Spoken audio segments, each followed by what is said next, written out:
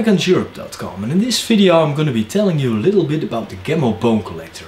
Now the Gamo Bone Collector is a single shot break barrel air rifle and we have it in two calibers uh, being 4.5 millimeters which is this one and in 5.5.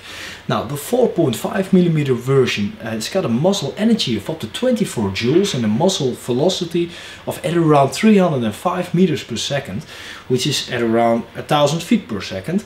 And the 5.5 millimeter version has got a muzzle velocity of 230 meters per second which is at around 750 feet per second. So it's quite a powerful air rifle.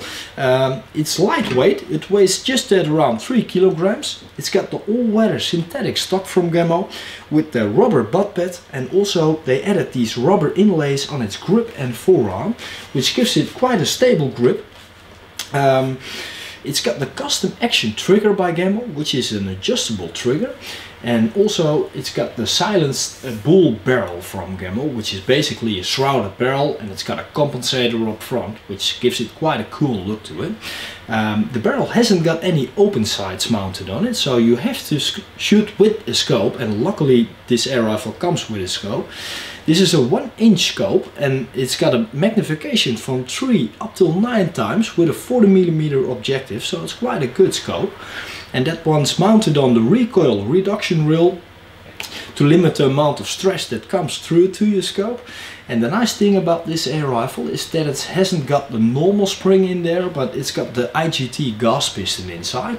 And a big advantage from over the normal spring is that the IGT gas pistons they last a bit longer and the cocking effort is less than with a normal spring.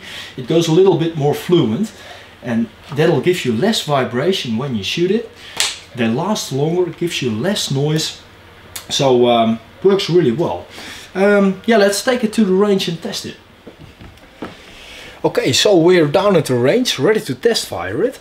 Now, to load this air rifle, simply put it in your hip like this and break it all the way through, which goes really smooth.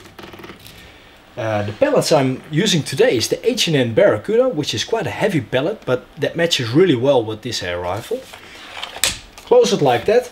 Um, the gun has got a bear trap safety on it, so uh, the trigger only will work if you uh, close the barrel. So now I can pull the trigger, but nothing happens, luckily. And now if I close it, now you can pull the trigger, of course. And also it's got manual safety, which is located in front of the trigger. When you pull this back, it's deactivated, and when you push it forward, now it'll work. Let me give it a try.